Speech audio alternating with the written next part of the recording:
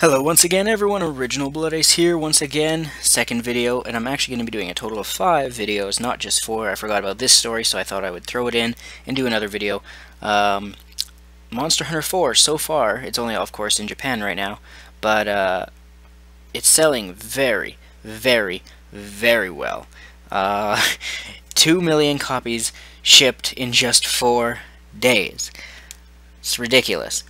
Uh, the entire Monster Hunter franchise has sold over 25 million copies. That is ridiculously huge.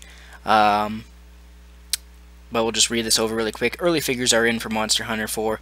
Uh, Capcom, who predicted astronomical sales, or astronomic, uh, for the title, were right on the mark, as they have now announced that the game has broken the 2 million copies shipped out in only its first four days on the market. The title also hit a milestone for the Monster Hunter series, bringing total series uh, series sales to over 25 million. Uh, Monster Hunter 4 is currently third on Japan's eShop all, so all software chart. Great reviews, long line of games, and it showed off there was people waiting in lines. There was like lines of like hundreds of people waiting in line. Uh, but I mean, it's no big surprise. It's like comparing it to COD in North America. In North America, people go buy COD, which is crap, but in people in Japan actually buy things that are pretty worthwhile.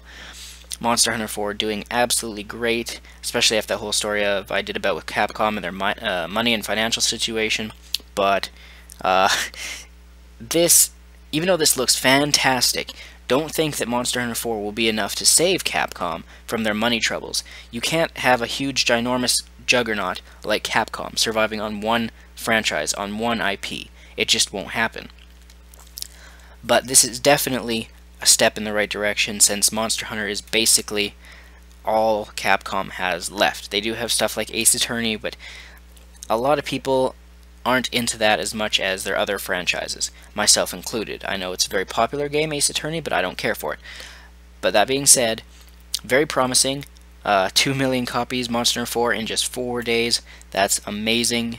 Uh, it's like half a million every freaking day. So, great sales, off to a great start. Uh, now we just need it to come to North America, which it will still. I'm still saying it'll come at some point.